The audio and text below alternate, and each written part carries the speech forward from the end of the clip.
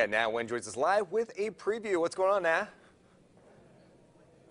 Good morning, guys. It's a really important day. 75 years to the day, the day of remembrance we're talking about, uh, that the president signed into order that the Japanese Americans, anybody of Japanese descent, be actually interned or imprisoned uh, as a result of war.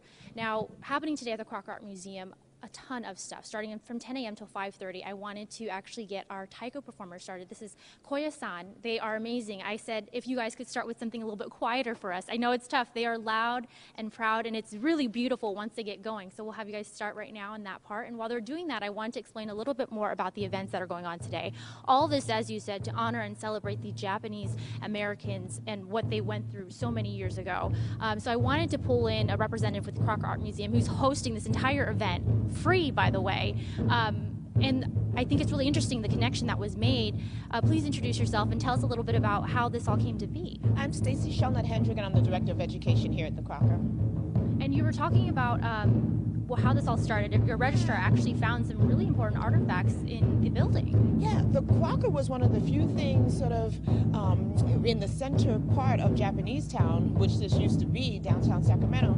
And when um, Japanese Americans were placed in the camps, they gave a lot of objects to the Crocker to hold for them while they were in the camp. So we've been a pivotal role to this story for 75 years. And the exhibition we have now are photographs of Ansel Adams and Leonard Frank of Japanese Americans in the detention camps. Now today we have a lot going on. So we talked, or we have the musical performance, for instance, Taiko, but we also have, if you guys look behind uh, the performers, uh, they'll be doing a special Japanese floral arrangements.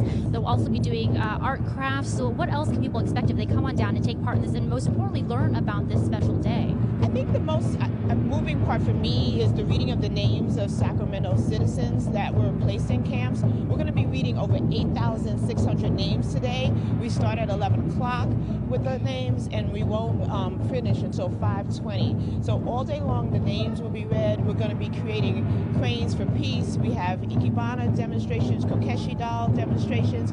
We have um, Koya-san performing and we're so excited to have them here. Doris Matsui, Congresswoman Doris Matsui will be opening the day, and we're having the day start with a period of meditation. It's going to be a beautiful day, a day of learning too for anybody who hasn't learned or know, know anything about what's going on. So we, as a good send-off, I asked them to kind of kick things off for us right now if they could see me. You guys ready? This is the way they're, if you guys want to see the full performance, you'll want to come in today. This is them ramping up, and it can only get better from there. So stay with us, though.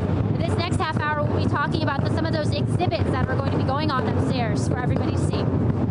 That is great stuff out there, Nha. Appreciate it. It's loud, too.